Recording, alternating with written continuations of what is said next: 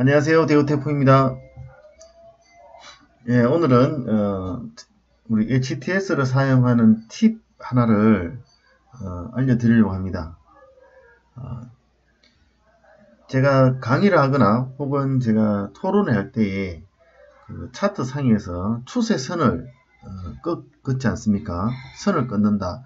우리가 이렇게 하고 난 다음에 이 선이 다른 종목으로 이동했다고 오면 그 선이 사라져요.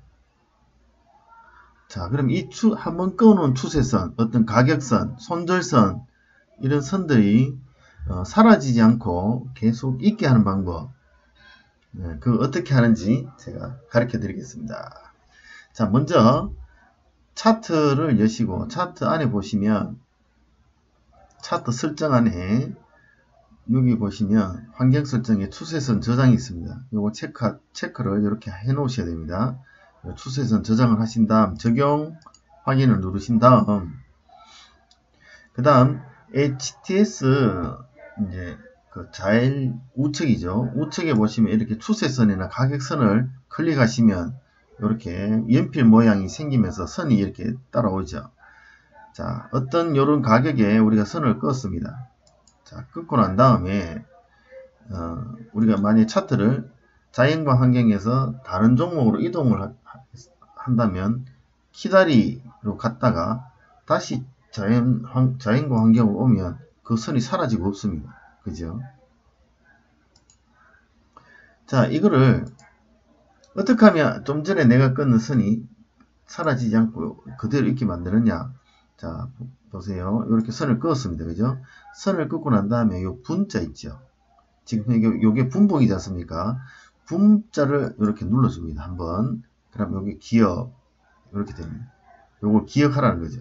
자, 키다리 스튜디오 갔다 오겠습니다.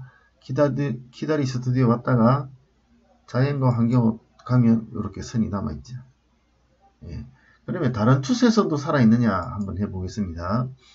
자, 여기서 이렇게 추세선을 껐습니다. 껐다고 가정하겠습니다. 자, 그런 다음 분자를 눌러줍니다. 한 번 더, 한 번 눌렀습니다. 자, 다른 차트에 갔다가 다시 자연과 환경으로 오면 예, 그대로 있죠. 이 추세선도 살아있죠. 예, 저장이 이렇게 됩니다. 자, 그럼 이거 없애는 방법은 어떻게 없애느냐? 이 하단에 보시면 지우개 있죠. 두 개가 있고 요거는 누르면 올 사라집니다. 모든 선은 다 사라집니다. 근데 차트 오른쪽에 보시면 지우개가 올 말고 한 개씩 지우는 거 있죠. 한 개씩 지우는 거 그걸로 하시면 이렇게 차트가 밖에 있지 않고 HTS 안에 있을 때는 그걸 누르면 한 개씩 사라집니다. 어쨌든 이렇게 다 지웠다. 지우고 난 다음에 이 분자를 한번 눌러 주셔야 됩니다. 그러면 이 사라진 게 더 이상 나타나지 않습니다. 사라진 지우고도 딴 데 갔다 오면 이게 남아 있습니다. 해볼게요. 자 여러분 이렇게 추세선을 껐습니다. 추세선을 끄고 난 다음에 분자를 누르면 기억이 됐겠죠. 자, 다른 쪽에 갔다가 자연과 환경이 왔습니다. 살아있죠? 자, 이걸 지웠습니다. 예, 지우개로 딱 다 지웠습니다. 지운 상태에서 분자를 안 누르고 다른 곳에 갔다가 다시 돌아오면 그 선이 남아있습니다. 이렇게. 자, 지우든 선을 만들든 확정을 짓는 게 뭐다? 예, 이 분자를 눌러주는 겁니다. 그럼 일봉은 어떻게 하느냐? 일봉도 마찬가지입니다. 일봉의 추세선을 이렇게 껐습니다.